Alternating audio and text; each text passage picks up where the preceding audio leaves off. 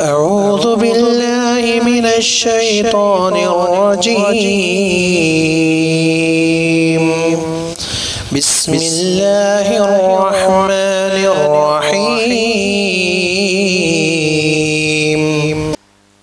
Number سترہ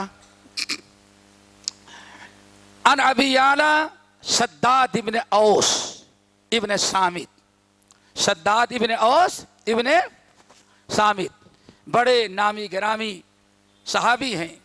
بلکہ صحابہ کہتے تھے، بڑی عجیب سے بات، دعا کرو اللہ سب کو نصیب ہو۔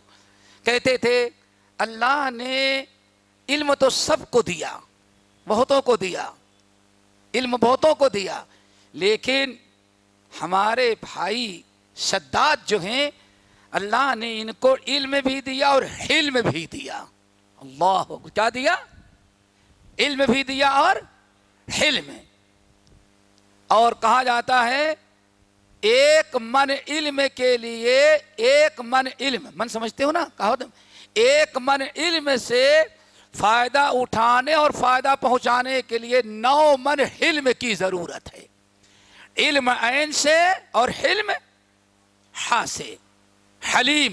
اللہ کے ناموں کا نام کیا ہے؟ حلیم۔ حلم کیا چیز ہے؟ ضد التیش۔ تیش تیش میں آنے کے بجائے کیا کر لینا؟ تحمل اور برداشت کر لینا۔ کیوں نہیں؟ مونا صاحب پچاس ہزار کی تنخواہ لیے، لے کے آئے اور پورے ہندوستان کا سب سے اچھا خطیب لے کے آئے، کھڑا کر دیا۔ ماشاءاللہ، بڑا زبردست خطبہ دیا۔ اور پانچ منٹ بڑھا دیا۔ مسجد کو متولی نے کہا، مولانا ذرا آئندہ سے خیال رکھیں۔ ٹھیک آدھے گھنٹے کے بعد، تیس منٹ کے بعد نیچے اتر جائیں۔ مولانا نے کہا اچھا میں تمہارا غلام ہوں۔ مسجد کے باہر چلے گئے۔ اور بینگلے ہی چھوڑ کر کے چلے گئے۔ صرف تیش نے علم سے فائدہ پہنچانے سے محروم کر دیا۔ اسی لیے علم بھی ہو اور ساتھ میں کیا ہو؟ حلم ہو۔ علم اور حلم اور حلم اللہ تعالیٰ کی بہت بڑی نعمت ہے۔ اللہ تعالیٰ سے دعا کرو سب کسی اور موقع پر انشاءاللہ حلم کے موقع پر حلم پر گفتگو ہوگی اگر اللہ تعالیٰ نے موقع دیا تب۔ تو صحابہ کیا کہتے ہمارے بھائی شداد بہت خوش نصیب ہیں۔ کیوں؟ کسی کو علم ملا تو حلم نہیں، کسی کو حلم ملا تو علم نہیں۔ لیکن ہمارے بھائی شداد کو اللہ نے دونوں دیا ہے۔ حلم بھی دیا اور علم بھی دیا۔ یہ کہتے ہیں کہ اللہ رسول نے فرمایا، ان اللہ کتب الاحسان علی کل شیء اے لوگو، اللہ نے احسان کرنا تم پر فرض کر دیا ہے ہر چیز ہر موقع پر۔ احسان جانتے ہیں نا؟ دوسرے کے ساتھ بھلائی کرنا۔ ان اللہ کتب الاحسان اللہ نے احسان کرنا ہمارے اوپر تمہاں پر مسلمانوں تمہارے اوپر اللہ نے فرض کر دیا ہے، ہر مخلوق کے ساتھ، ہر معاملے میں تم کیا کرو؟ احسان کرو۔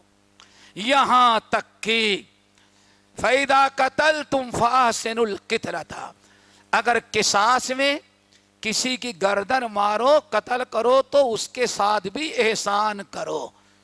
تو کیا کریں اللہ کو چھوڑ دیں؟ نہیں چھوڑو، نہیں۔ ذرا جس کو کہتے تڑپا تڑپا کر کے نہ مارو۔ ہاں؟ دھار دار تلوار سے طاقت اور مارے تاکہ ایک ہی مرتبہ میں گردن جدا ہو جائے، بیچارے کو تکلیف کم احسان فیدا تم فاحسن الذبح۔ اور جب جانور ذبح کرو تو جانور بھی ذبح کیسے کرو؟ جانور کے ساتھ بھی احسان کرو۔ سمجھ گئے نا؟ کیا احسان ہے؟ ذرا چھری تیز کر لو، ایسا نہیں کہ قربانی کا بکرا لٹا دو، چڑھ لو، پھر اس کے بعد کا ذرا چھری تیز کر کے لاؤ۔ اور وہ بیچارہ دیکھ رہا ہے۔ سمجھ گئے نا؟ یہ چھری میرے لیے تیز ہو رہی ہے اور شیر صاحب گردن پر پیر رکھ کے دبائے ہیں۔ یہ ہے تڑپا تڑپا، یہ ایسا چاہے نہیں۔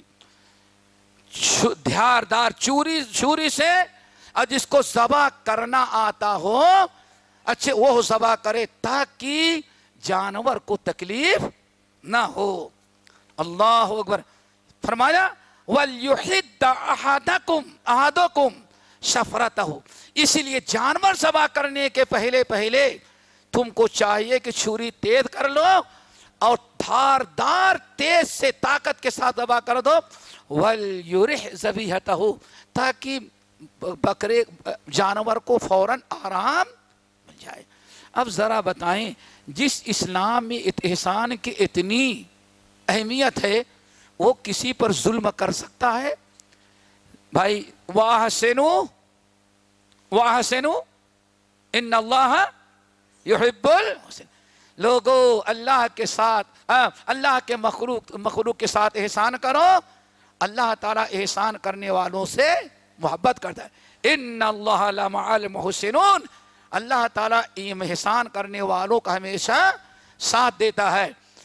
ارحموا من فی الارض، یرحمکم من فی کرو مہربانی تم اہل زمین پر، خدا مہربان ہوگا عرش بنی پر۔ اللہ تعالیٰ سب کے اندر احسان کا جذبہ پیدا کر دے۔